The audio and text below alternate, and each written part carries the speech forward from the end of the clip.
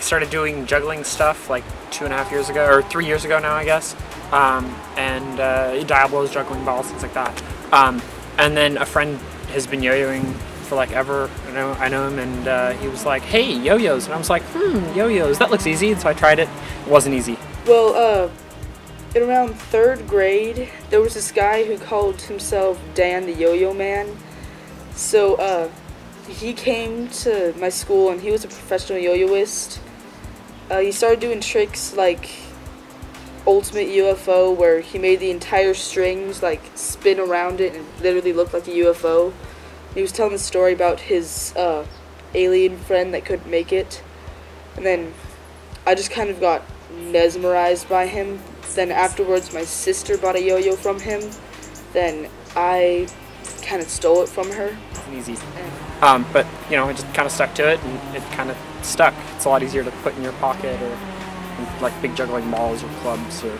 So, um, so 1A is just your basic, you know, put it on your finger, goes up and down, does string tricks, you know, does all that basic stuff. Um, 2A is with two yo-yos, one on each hand, and uh, and you do looping tricks. So they're always going out. Um, and they ne you never catch them in your hand. They come right about here, and you just use the momentum to regenerate the spin on the yo-yo. And you use two of them to do crazy things around your body and under your legs and all sorts of crazy stuff. Uh, Um, the third one is, if you ask me, the most complicated because you have two non-responsive yo-yos and you're landing them on the opposite one's string and tangling up the strings just to get them to spin around each other. It's really complicated. Um, um, 4A is when you have the yo-yo and the string detached from each other. So you just kind of throw up the yo-yo and then catch it on the string and then you kind of bounce it around on it. Um, something like that. And then counterweight is my personal favorite division. Um, there's a weight at the end of your yo-yo string, so your hand's not actually attached to the yo-yo, but the string is attached to the yo-yo. So you throw it, and you can do uh, tricks where you can spin the weight at the same time as doing a trick around the yo-yo, where you let go of it, or it just makes for a very different, interesting play. Um, yo-yo community is based a lot around the internet because we don't all you know sit in one place all the time. I mean, there's seven or eight people that yo-yo seriously in all of San Diego County. my cousin is a professional yo-yoist and he's been sponsored. Um, his name's Isaac and he has his own YouTube videos. I just kind of go on and off with yo-yoing, but whenever I see Isaac, it's automatically back on for a while. Um, but um, I can talk to a guy in Chicago or New York or Florida about, hey, I'm trying to work on this trick, and he can put up a video or write some text saying, hey, this is kind of what you want to do, and we're all kind of a really close community all over the world, or all over the U.S. and really all over the world. Um, and then every now and then we kind of like to get together in real life at contests and things like that.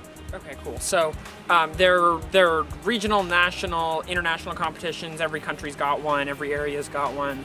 Um, the few competitions that I've been to, pretty much it's a bunch of people who enjoy yo-yoing, hanging out. Um, everyone spends the first while just kind of trading tricks, trying different yo-yos.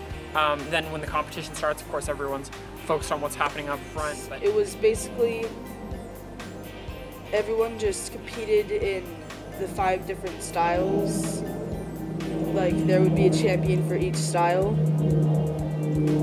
Um, I'm assuming you know what the styles are. but really the, the contest atmosphere is really cool. I mean, it's competitive, but it, you know, oh my goodness, I broke my last string and I'm about to go on.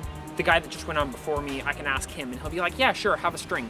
Oh my goodness, you know, I broke my yo-yo. Yeah, sure, have a yo-yo. Or he'll show you a trick he just did in his freestyle so that you can take it up and do it up there too. So it's it's really friendly and really uh, a close group. So yeah, oh yeah, yo-yo's definitely a, a group.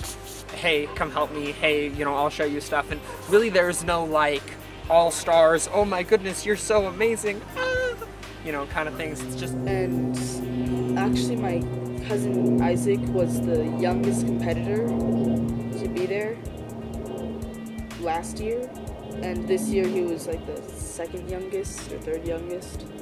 Because most of the guys competing were 17, 20 years old. things. It's just we're all yo-yoers, and whether it's the guy that's been yo-yoing for 20 plus years and he's sponsored on a team and he's got his own signature line of yo-yos and runs a company or whatever, I can walk up to him and just be like, "Hey, dude, how's it going?" And it's just a cool atmosphere. I don't know. Mm-hmm.